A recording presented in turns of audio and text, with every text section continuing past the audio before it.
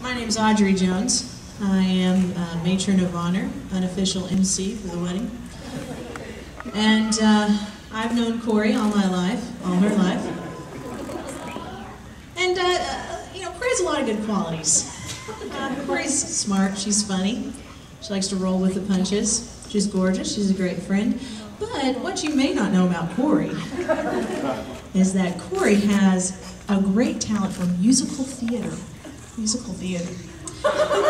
You see, when we were kids, we loved to put on a good show in the backyard for our grandparents and parents. We charged a nickel admission, made a killing. And uh, one such time, uh, Dad and Mom really loved a song Corey and I came up with. And uh, I, I tried to be the star of the show, but Corey, as my backup singer, really stole it from me.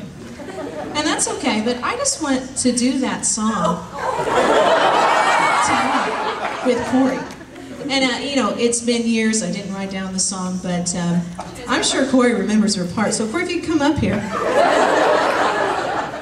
That would be great, okay? Now, um, I'm going to set the scene for you a little bit. Corey was about seven years old, which would make me 10. And it was a hot summer night, nonetheless, the show must go on. Uh, the lawn chairs were set up in the backyard facing the treehouse. That was our stage. Hanging from the treehouse was a trapeze bar where this young lady was perched. Yes. And um, this is a song about traveling. I just just remember a little bit of it, but what I really want you to hear are Corey's great vocals on this. Okay? Well, if I'm going to sail tonight, I better be able to plan my flight. But which way should I go? Should I go this way?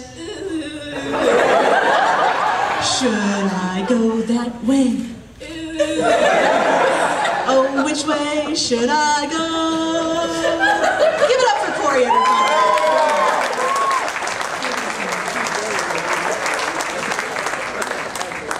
I'm so sorry that uh, we couldn't share that with everyone sooner, but I'm glad we had this uh, chance.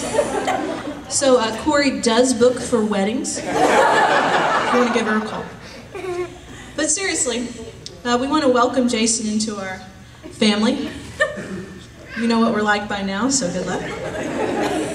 But uh, we wish you many, many happy years together. So if everybody could uh, raise a glass, I'd like to do a Tennessee toast I learned down there. To my little sissy and my brand new bubby. Congratulations.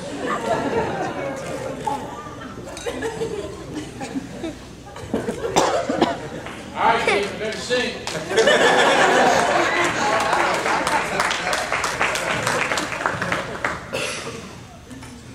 Gonna have to use this here podium because I didn't memorize that.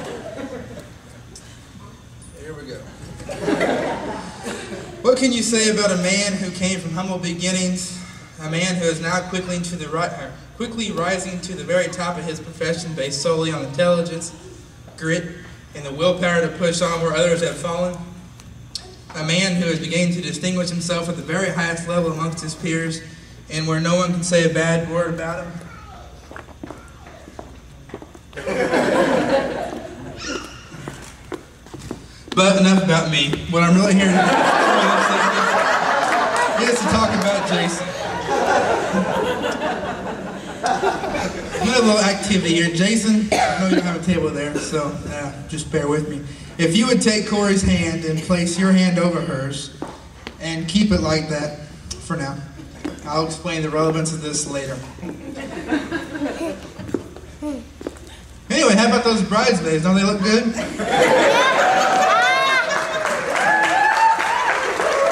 Like everybody agrees they look fantastic and are rightly outshone by the bride tonight. They did a great job making sure that Corey went against her better judgment, judgment and showed up today. For, you, for those of you who do not know me, my name is Nick. I'm Jason's younger brother. And I have to say it's great to be standing up here today because after all these years, Jason finally admitted that I am the best man.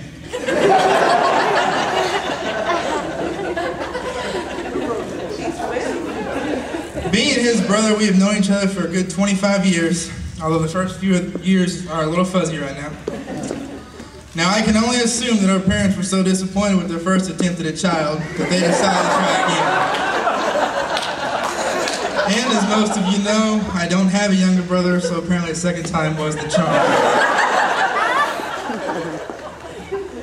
There's nothing that I wouldn't do for Jason. Likewise, there's nothing Jason wouldn't do for me. As a matter of fact, we spent most of our time doing nothing for each other.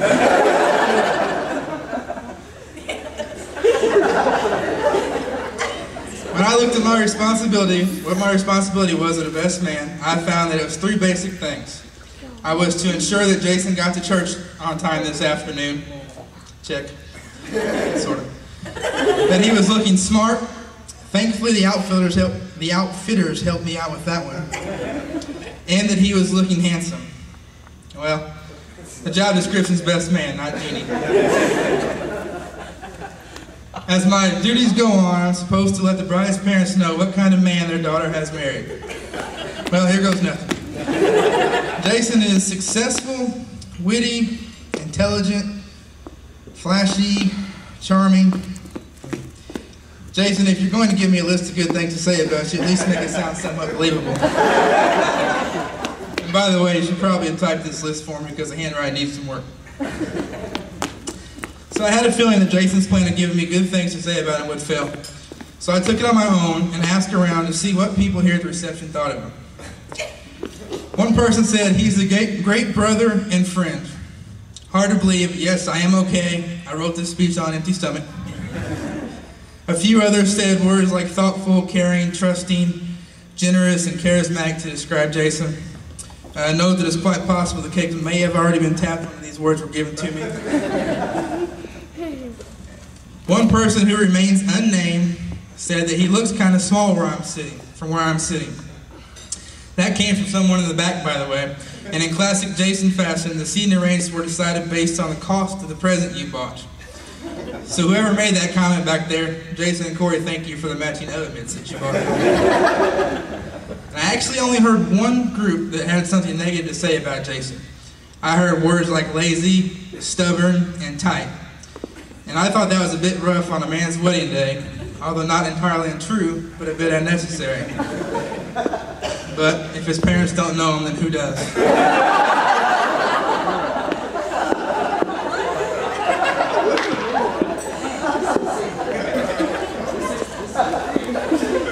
Been a huge change in Jason since he started dating Corey, and I have to hand it to her. Before Corey, Jason was immature and acted like a 12-year-old most of the time. And I'm happy to say now that Jason's maturity level is now around 18 years old. So a drastic improvement in a short amount of time. Nice work, Corey. Obviously, I know Jason pretty well because he's my brother, but I actually know Corey pretty well also because we went to school together since middle school. And he used to get on me about robbing the cradle.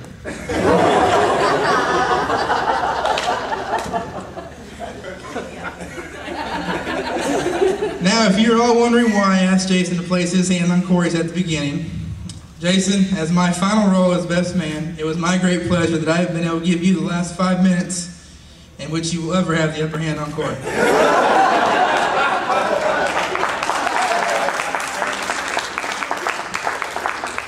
All the joking aside, I'm very happy for the two of you, and you find, hope you find nothing but happiness in your life together. If you ever need anything, with the exception of watching any dogs you may have here in the future, don't hesitate to ask me. So now it gives me great pleasure to invite you all to uh, raise your glasses without knocking anything over. One more time, and say welcome to the Mr. and Mrs. new Mr. and Mrs. Woodard, Jason and Corey.